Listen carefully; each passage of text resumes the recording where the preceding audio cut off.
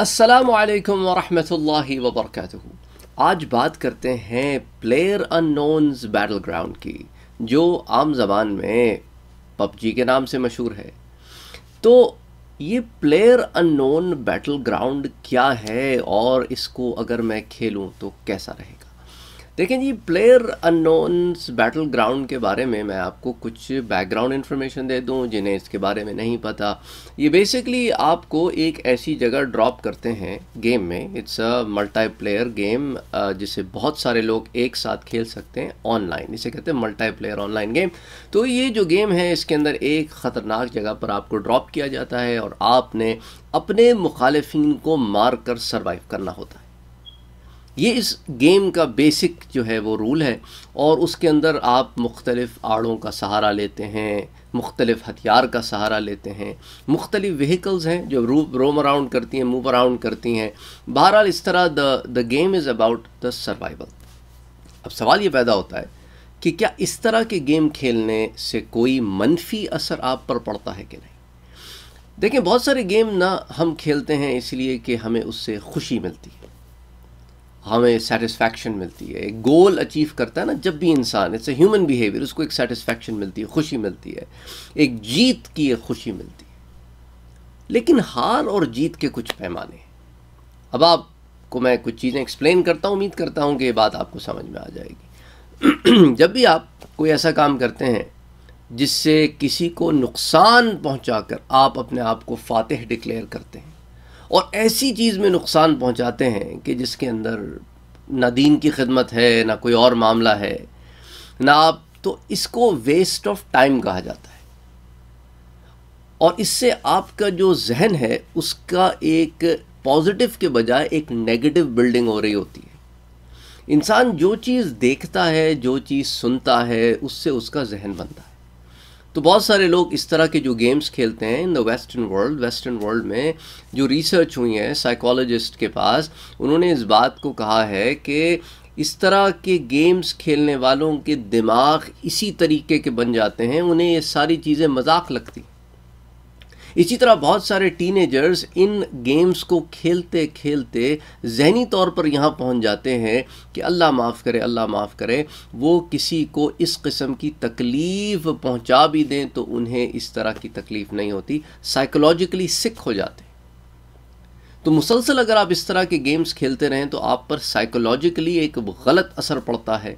जिसकी इस्लाम मुखालफत करता है कि इंसान का ये फ़र्ज़ है कि वो अपने माइंड को पॉजिटिव बनाए, बजाय इसके कि नेगेटिव बनाए। तो एक जाविया तो ये हो गया। दूसरा जाविया ये हो गया, it's a waste of time. इस वक्त में जब आप बहुत सारे ऐसे काम कर सकते हैं जिनका पॉजिटिव अफेक्ट हो सकता है। लोग ये खेल खेलते हैं जिसका नेगेटिव इफ़ेक्ट होता है। मिसाल के तौर पे, बच्चे पढ़ाई छोड़कर ये गेम खेल रहे होते हैं। नौजवान अपने वक्त को ज़ाया कर रहे होते हैं ये गेम खेलने के लिए। उस वक्त में कोई ऐसे काम कर सकते हैं जिससे उन्हें भी फ़ायदा हो, दूसरे लोगों को भी फ़ायदा हो। लोग इस वक्त में कोई दीन की तालीम हासिल कर सकते हैं, अपनी दीनी मालूम में इजाफ़ा कर सकते हैं, अपना अमल बेहतर बना सकते हैं, नवाफिल अदा कर सकते हैं, अपने ऊपर काम कर सकते हैं, अपने घर वालों की मदद कर सकते हैं, अपने घर वालों का घर में हाथ बटा सकते हैं, लेकिन वो दो, तीन, चार घंटे, पाँच घंटे इसमें लगा देते हैं। सारी सारी रात इसमें लगाते हैं, सुबह की नमाज़ भी नहीं पढ़ते, नमाज़ों का भी होश नहीं है, अजान हो रही है, नमाज़ें क़ज़ा हो रही हैं, नमाज़ें नहीं पढ़ी जा रही हैं, पर गेम ज़रूरी है।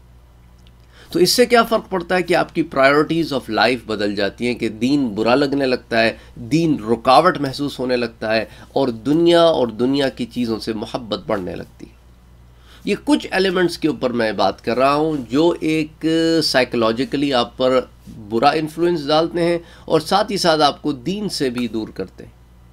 तो कोशिश करें कि ऐसे खेल ना खेलें जिनसे आप पर मनफी असर पड़े पॉजिटिव खेल भी बहुत सारे हैं, अगर आप चाहें तो खेल सकते हैं।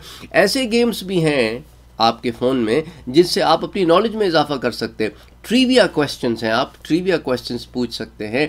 आप मैथ के प्रॉब्लम सॉल्व कर सकते हैं। आप साइंस के प्रॉब्लम सॉल्व कर सकते हैं। आप अपनी वोकेबुलरी पर काम कर सकते हैं।